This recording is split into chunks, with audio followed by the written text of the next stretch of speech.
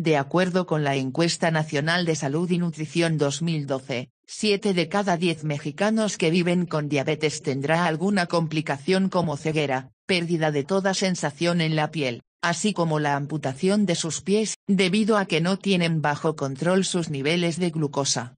Los cuidados para diabetes son claves en todo momento. Por su parte, la médica Marcela Vega, titular de la gerencia académica de la Federación Mexicana de Diabetes, afirma.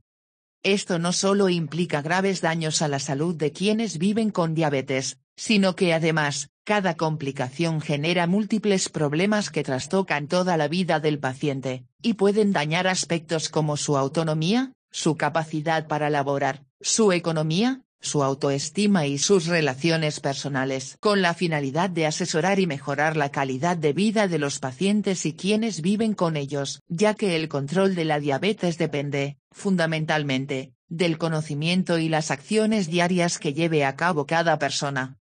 Expertos nacionales e internacionales ofrecerán pláticas para profesionales de la salud sobre los más recientes avances en torno a tratamientos farmacológicos, actividad física, investigaciones científicas y aspectos nutrimentales.